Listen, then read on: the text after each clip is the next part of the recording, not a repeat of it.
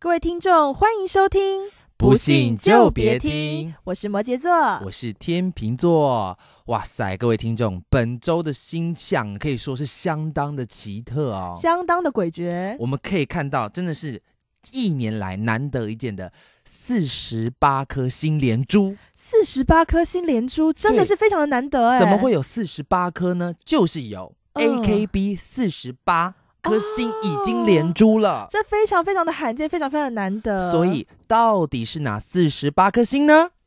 以下是本周的星座运势：母羊座，母羊座本周啊，你在工作上啊，将展现出令人刮目相看的实力哦。一向轻视你的对手啊，将可能因此受到重创。所以啊，你如果遇到这种不长眼的对手的时候啊，你应该去劝劝人家，先去买保险，再来跟你一较高下。金牛座，本周对于一些投资报酬率不确定的事情呢，你应该要特别小心，你千万不要轻易相信哦。例如，你不要以为啊，你免费帮一个女孩子修理电脑哦，修修修修到半夜，人家就会把你当男朋友，呃留你下来过夜，这是不可能的。双子座，你本周的火气太旺了哦，所以你可能会有口臭的问题发生，那应该可以多多接近含有叶绿素的对象啊，例如啊，你可以多接近槟榔西施啊，或者是直接跟槟榔。其实交往，大家巨蟹座，本周你的事业呢可能会有转变的机会，你要好好重新考虑自己的生涯规划，想想看你到底是要自动离职呢，还是等着被老板撵走比较过瘾。狮子座。本周啊，你在投资上不应该狮子大开口哦。你在决定要投资之前呢，你应该要先掌握自己实际的存款。例如，你应该要先存够买一张台积票股票的钱呢。你之后你再去想到底应该要如何合并台积电呢？处女座，处女座的朋友，你本周应该要重新检讨自己的减肥计划，是不是有点不切实际了呢？例如啊，一向非常相信风水的你啊，你总是觉得，嗯，是不是搬去伊索比亚，或者是搬去布吉纳法索，是一个很有效的减肥的妙方呢？天平座，本周啊，因为工作上你太过投入了，所以啊，容易造成精神疲倦呐、不振。那你应该试试看哦，可以在办公室做一些像是拖拖地板呐、擦擦桌子啊这种劳动服务哦。虽然呢，这样可能会让你更累哦，更精疲力竭啊，可是最起码你的精神跟肉体是取得一个平衡。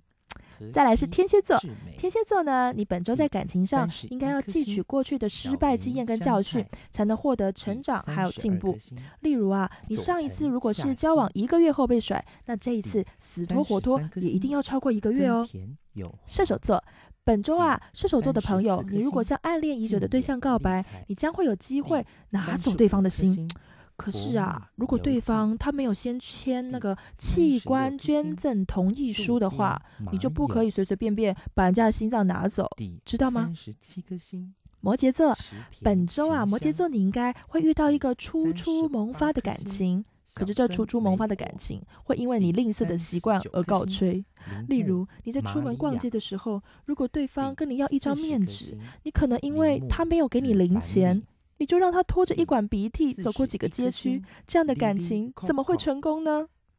水瓶座，本周水瓶座出门的时候，记得记得贵重物品啊，不要放在背包里面，不然呢，很有可能在公共场合被扒手光顾。可是啊，这不代表，如果你把贵重物品捧在手上，扒手就不会来哦。最后一个星座双鱼座，双鱼座呢，你本周应该多多听小孩子的心声，你将会有意想不到的收获。例如啊，你可能会从小孩子的口中发现你的另一半自以为掩藏的天衣无缝的外遇哦。这就是本周的星座运势，不信就别听。你有听清楚了吗？